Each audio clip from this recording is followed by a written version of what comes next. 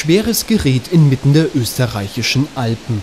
Die richtig großen Fahrzeuge werden hier in Mittersill aber nicht an der Oberfläche benötigt, denn unter der Erde befindet sich eine der ertragreichsten Wolframminen der Welt. Um an das begehrte Metall zu kommen, müssen die Kumpel durch kilometerlange Gänge tief unter die Erde fahren. Und hier gut 300 Meter unter der Oberfläche ist es stockfinster. Erst die Scheinwerfer der Maschinen bringen Licht ins Dunkel. Eines der Fahrzeuge, mit denen hier gearbeitet wird, ist dieser Tamrock Toro 0010, den Wolfgang Feider steuert.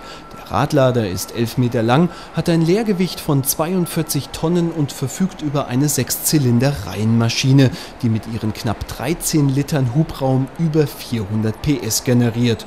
Das Fahrzeug ist speziell für den Abbau in der Mine konstruiert. Eine Knicklenkung sorgt für die notwendige Beweglichkeit in den schmalen Stollen. Und weil diese zudem recht niedrig sind, ist die Fahrerkabine seitlich angebracht. Geräumig ist diese nicht und ein Lenkrad ist zudem nicht vorhanden. Gesteuert wird per Joystick. Ich habe drinnen in der Fahrkabine drinnen habe zwei Joysticks. Einmal für die Lenkung. Auf der linken Hand ist die Lenkung drauf. Da sind nachher die Schaltvorgänge drauf, also vorwärts, rückwärts und 1, 2, 3, 4 die Gänge. Und auf der rechten Seite ist Hubgerüst drauf, also heben und senken, Schaufel einkippen und auskippen und Schwimmstellung und Hupe. Theoretisch würde es der 700.000 Euro teure Radlader im vierten Gang auf eine Spitzengeschwindigkeit von 27 km/h bringen. Doch allein schon aus Sicherheitsgründen lassen es die Minenarbeiter ruhiger angehen. Der zuverlässig arbeitende Tamrock Toro 0010 kann und muss aber auch mit einer Fernsteuerung bewegt werden. Denn dort, wo der Radlader das freigesprengte Gestein auflädt, darf sich niemand aufhalten, auch der Fahrer nicht. Zu groß ist die Unfallgefahr für die Arbeiter.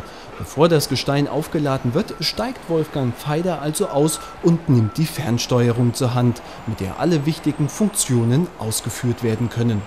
Das ist ein großer Hohlraum, der was ungesichert ist, den was man mehr berauben kann, das heißt absichern, deswegen schickt man die Maschine alleine rein.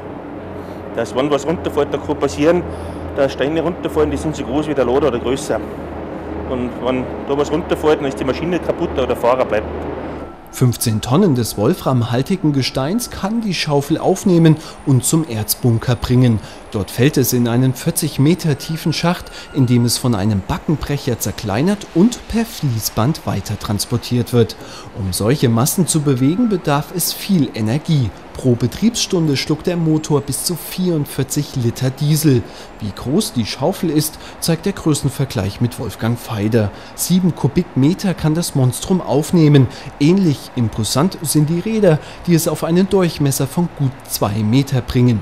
Einsatzreifen kostet 32.000 Euro, der je nach Belastung bis zu 5.000 Betriebsstunden hält. Das entspricht in Mittersill einer Dauer von etwa drei Jahren.